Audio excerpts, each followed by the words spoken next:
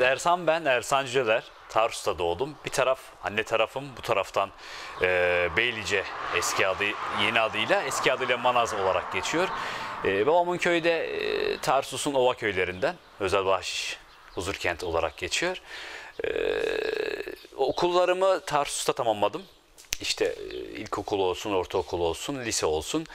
Daha sonrasında lise sonra lise bittikten sonra e, halk eğitim merkezinde halk oyunları usta öğretisi olarak sonrasında e, antrenör ve e, ikinci kademe antrenöre kadar yükselerek devam ettik. Sonrasında başarılarımızdan dolayı işte Mersin il birinciliği sonra bölge üçüncülüğünden sonra biz 2014 yılında yaptığımız görevlerden dolayı biz Büyükşehir'e davet edildik. Büyükşehir'de çalıştım. Büyükşehir'de çalıştıktan sonra e, işte yaklaşık 3 yıl oldu.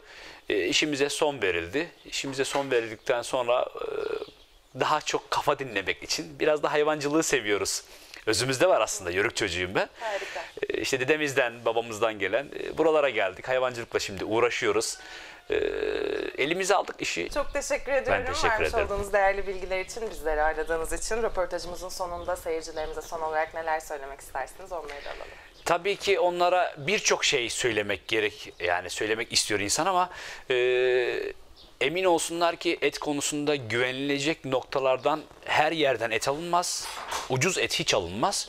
E, abartılmamış yerlerden bizim gibi yerleri tercih ederlerse hem lezzetli hem de sağlam e, iyi kaliteli et yemiş olacaklardır. Çok teşekkür Ben ediyoruz. teşekkür Bir ederim. başka programda görüşmek üzere. Görüşmek üzere. Hoşça kalın. Sağ olun, hoşçakalın.